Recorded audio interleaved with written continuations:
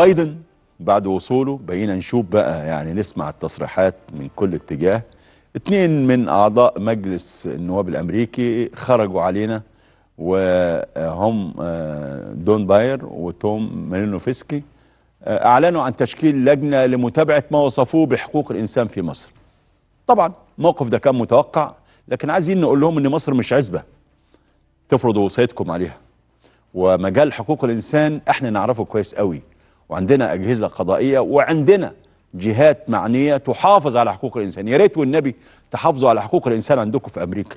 شوفوا الأول الكونجرس وصلحوه كده وحاولوا تشوفوا إيه اللي حصل والخمسة الذين كانوا ضحايا لحادث اقتحام الكونجرس والناس اللي اتقتلت داخل الكونجرس.